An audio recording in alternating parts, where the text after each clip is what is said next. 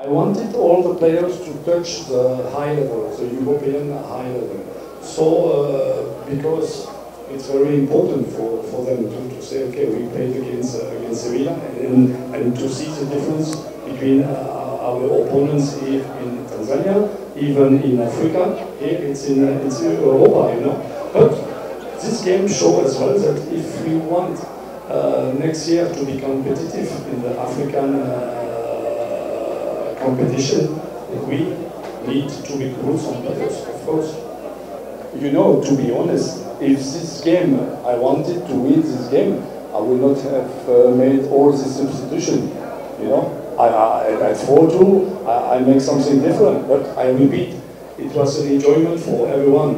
It was a, a, a big uh, exposition uh, for, the, for the fans, it something good for the fans, but for something good also for the team and for the players. And they deserve to, to, to, to play against this kind of, of team. So for the future, you know, we still have uh, two, two games. We are champion. We won the charity uh, shield. We can beat a lot of, uh, of records. We were in quarterfinal of, uh, of African uh, Cup. So now let's play the last two games and going to holidays. And after we will think about next season. Thank you.